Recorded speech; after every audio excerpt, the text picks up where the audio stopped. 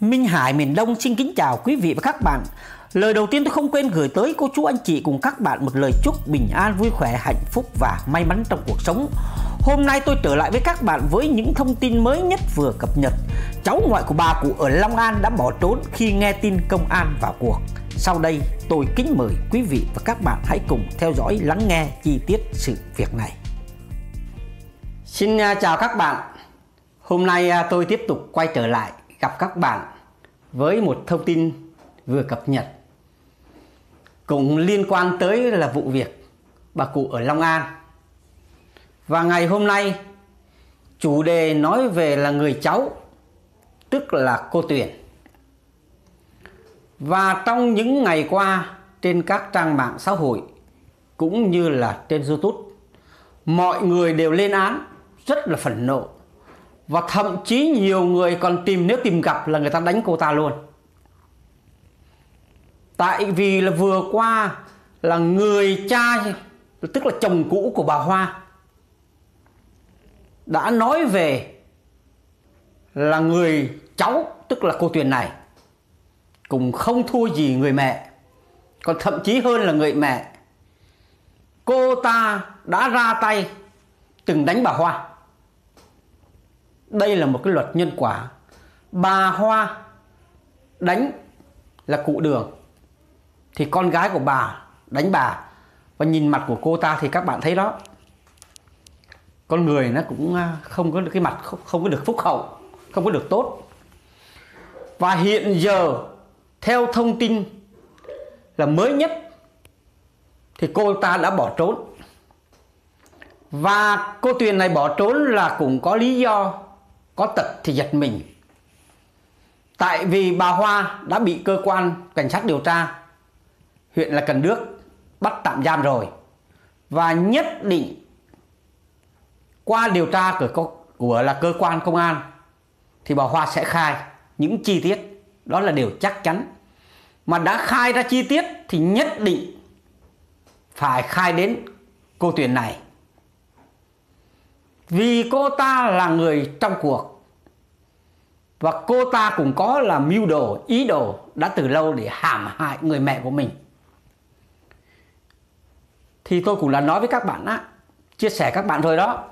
Tức là lúc bà hoa này hành hung với là bà cụ, cô ta đứng ở phía ngoài là đưa máy quay, không có là can ngăn.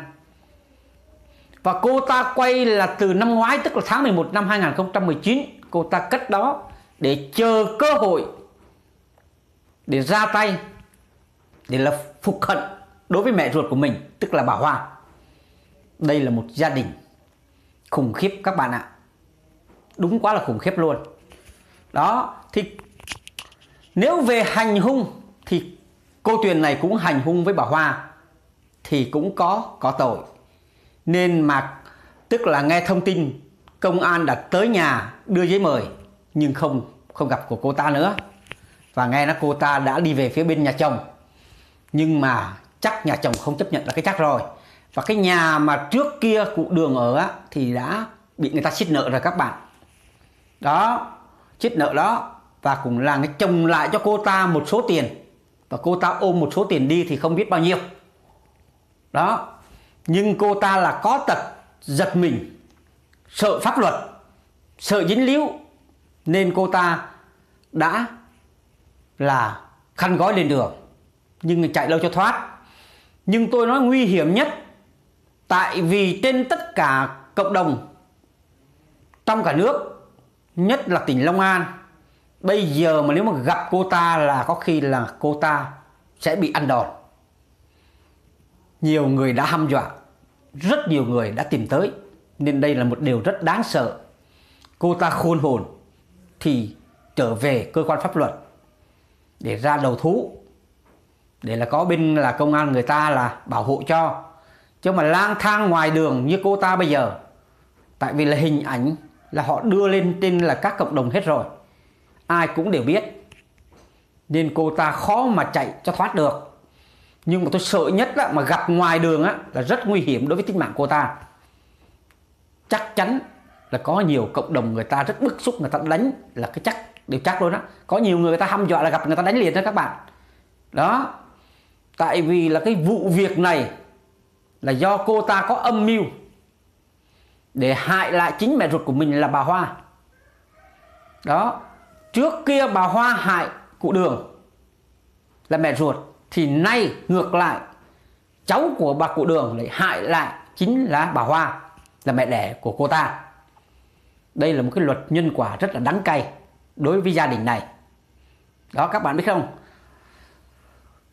Lúc là bà cụ bị là bạo hành, cô ta thản nhiên đứng ở ngoài, quay hết là gần 7 phút.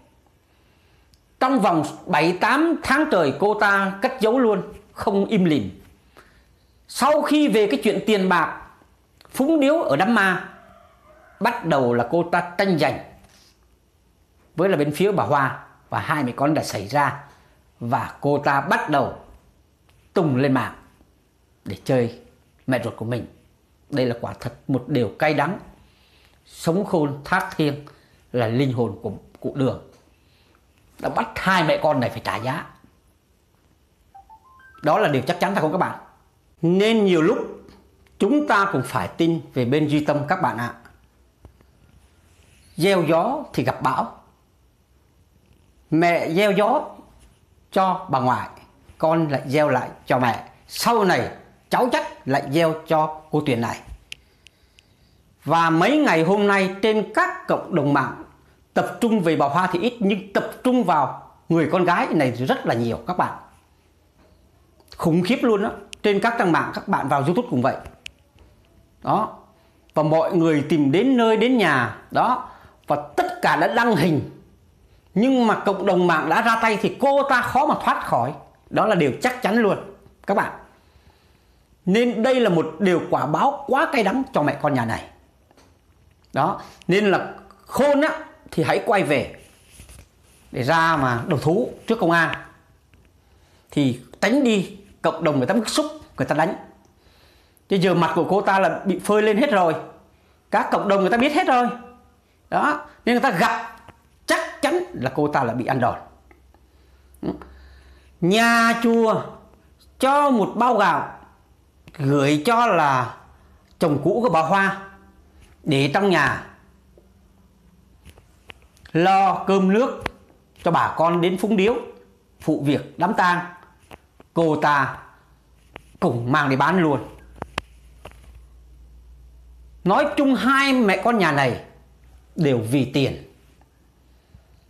Rút cuộc cái nhà ở đó, rồi người ta cũng chiết nợ.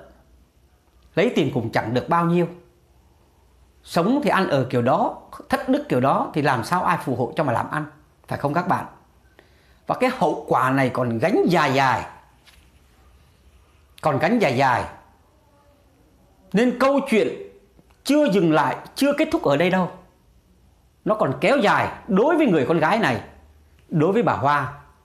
Đó, bà Hoa giờ có ăn năn, hối hận thì cũng đã muộn rồi. Vì mẹ đâu còn nữa mà hối hận.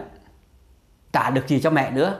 Lúc mẹ còn sống, thì bạo hành, đánh đập mẹ. Mẹ là người đẻ ra mình. 9 tháng 10 ngày mang nặng đẻ đau. Rồi ra tay hành hạ mình. Và trong lúc đó, con gái của mình đứng thu hình. Rồi giờ đây, hậu quả, bà là phải gánh lấy. Đó.